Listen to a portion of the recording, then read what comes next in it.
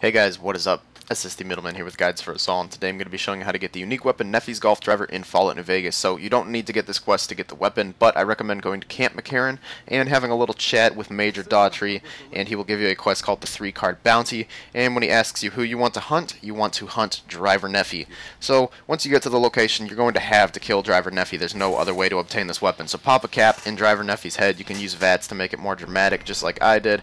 Head pops off, flies off onto the ground and uh, go to his body and pick up the weapon. It's the only way to obtain it. You can't pickpocket it off him. You can't sneak up and do anything else. There's no conversational aspects of getting this weapon. So, Nephi's Golf Driver is a unique golf club utilized as a two-handed weapon. Compared to its more common variant, the 9-iron, it is in more pristine condition and appears to be straight, not old and battered. It has a special 4 attack that, re that does regular damage and VATS, but at the cost of 4 more action points will always knock down enemies. That's pretty awesome, actually. Always knocks down enemies, so it's possible to execute that special attack outside of VATS uh, without the required melee skill 50 by initiating a power attack. Basically, you hold the attack button while moving forward. Nephi's Golf Driver can successfully strike about 245 times from full condition before breaking, and it can only be obtained by killing Driver Nephi, like I said. Some notes about the weapon. While in third person, the driver makes the sound of hitting a golf ball while doing a charge attack. I did not know about that.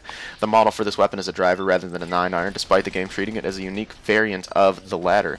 It will disappear from Nephi's inventory if you don't pick it up within three in-game days of killing him.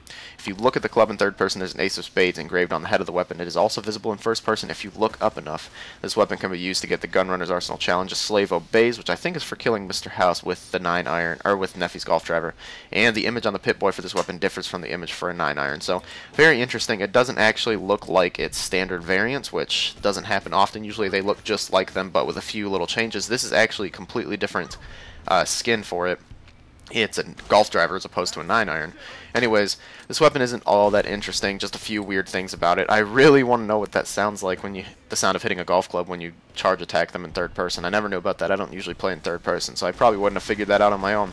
Anyways, thank you guys very much for watching the video. If you could, please leave a like rating down below and subscribe to see some more videos in the future. I'll see you guys next time. Goodbye.